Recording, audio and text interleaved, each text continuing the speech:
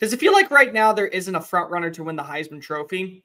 What if I were to tell you that we could end this narrative by Sunday morning? If you're brand new here, welcome on into the channel. My name is Cole Thompson. I'm a radio show host based in Houston, Texas, and I talk college football. I talk NFL, I talk MLB, I talk NHL, I talk NBA, but I love talking college football. If this is the type of content you enjoy, this is the channel made for you. So hit the subscribe button, leave a comment down below. Tell me who is your front runner to win this year's Heisman Trophy. Tell your friends, your family, your pastor, your enemies, your mortal foes, anybody who's drunk in a Walmart parking lot on Saturdays as you're getting ready for game day about this channel. Because if we get to 1,000 subscribers by November 15th, I'll shave my head live on air, Lex Luthor style. We are going live later today. We have shows on Thursdays and we have shows on Fridays so you're not going to want to miss out. Hit the subscribe button down below and let's talk college football. College football does not have front runner for the Heisman Trophy. Every single week, we have somebody new reigning supreme, whether it would be Caleb Williams, or then you throw in a Dillon Gabriel from his performance against Texas in the Cotton Bowl. And then you throw in Michael Penix Jr. during his performance over Oregon. And now Oregon looks really good. And now you have Bo Nix leading the charge you could end the narrative on Sunday morning. You really could. And I don't think that it guarantees this player a spot as the top top guy. What it does is it makes you the front runner.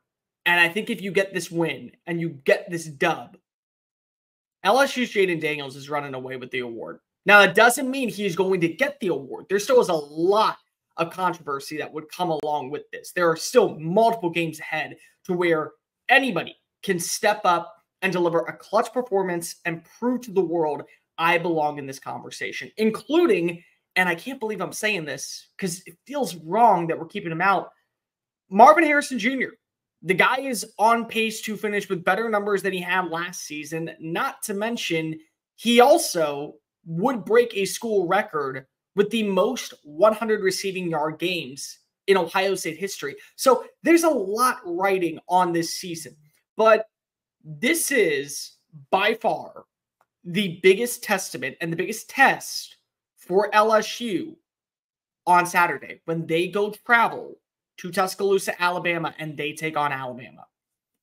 The Crimson Tide does not lose at home. And I know, okay, well, they lost to Texas. Cool story, bro. Do you know how many times they've lost underneath Nick Saban in the house that Bryant built? Eight times? I don't even know if it's eight. I think it might be seven, if I'm not mistaken. They don't lose at home. It just doesn't happen that way. And the reason is because of how well constructed this team is and how prepared they are in practice. I'll give you a quick story. When I was at Alabama, we would go to practice every day, and we were told you cannot record anything past a certain number. There was buildings, there were several apartment complexes that were right next to the practice facility, and they were told if you live here, you are not allowed on your balcony from this time to this time. And someone got evicted because Nick Saban caught them on their balcony. weren't taping anything, but they broke contract. That's the level of commitment that is in Tuscaloosa for Saturdays. And they do it for every game, but they precisely do it for home games.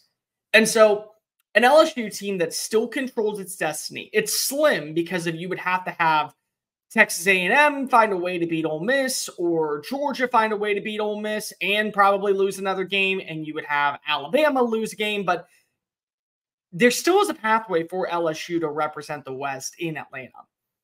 But it only starts and it ends right now if you beat the Crimson Tide, and you can. On paper, without question, you can beat Alabama. This is one of the best passing attacks in the country, and all attention turns to Malik Nabers, And, and well, it should. Malik Nabers is a stud of a wide receiver. But they also have three really good number two and number three options. Kyren Lacy is averaging 19.3 yards per play. Brian Thomas Jr. actually leads the team in receiving touchdowns with 11, and he's averaging 17.4 yards per, uh, per catch.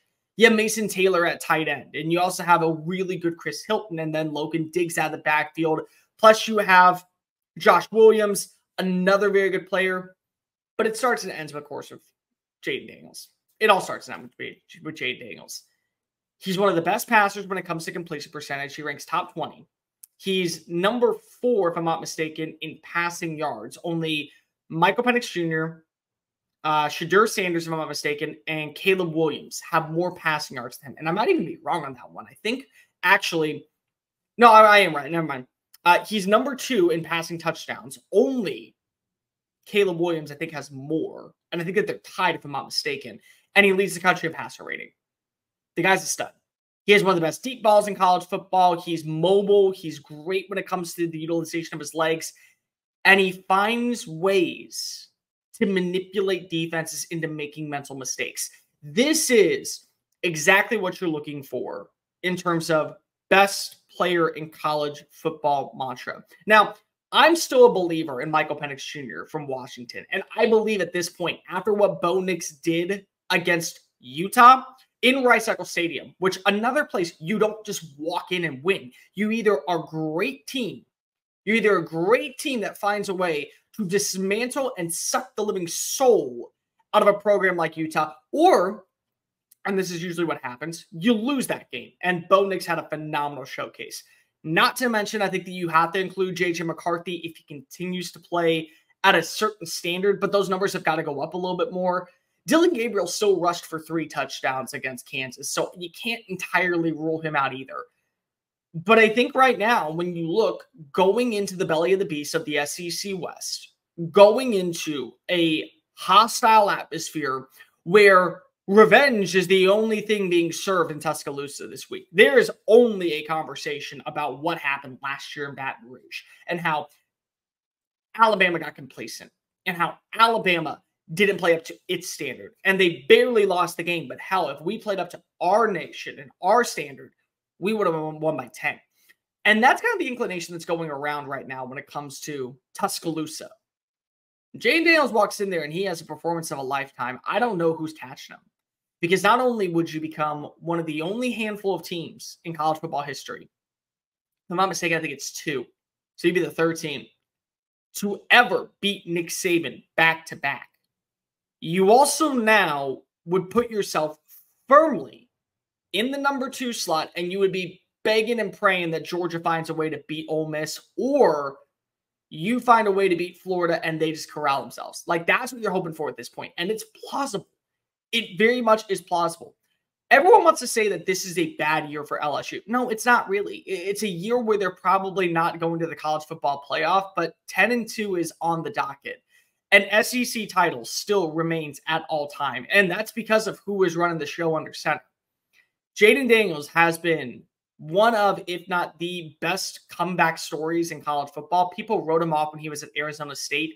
Now he's looking like a more and more the best quarterback and the most consistent quarterback in college football this season. Doesn't mean he's the best because if I think that when you look at talent perspective only, we all know who's number one.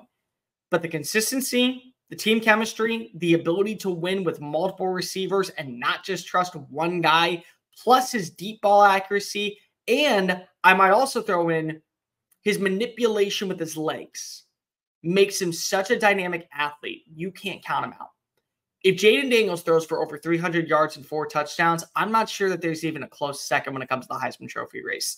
This could be the weekend where we solidify who is the front runner all the way through November. And best luck to those trying to play catch up with number five in Baton Rouge. Hey guys, thank you so much for watching that video. Don't hit the X button yet. Make sure you hit subscribe to keep up with all of our daily content found on Just Saying It and anything else that we post on this channel. Bye.